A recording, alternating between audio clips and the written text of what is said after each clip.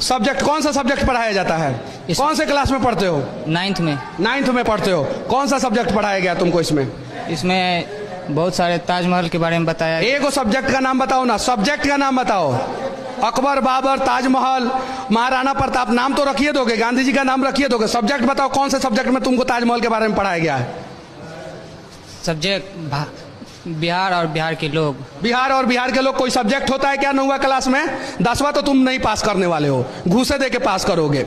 बिहार तथा बिहार के लोग। और उसमें ताजमहल यूपी का ताजमहल के बारे में पढ़ाया जाता है। सही है ना? दिल्ली में ताजमहल है। दिल्ली में ताजमहल ससुरा वाह कमाल का लड़का है। अरे, इसको भारत रत्न का टुकड़ा दीजिए। हो, थोड़ा सा शिक्षा जगत में क्रांति लाएगा बच्चा स्मार्ट क्लासेज में पढ़ के दिल्ली में ताजमहल बनाएगा और बिहार तथा बिहार के लोगों वाला किताब में पढ़ेगा ये। वाह, बाबू, हो गया तुम्हारा गेम ओवर अब जाओ।